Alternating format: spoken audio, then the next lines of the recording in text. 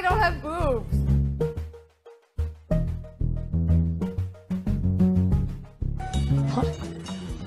Balls?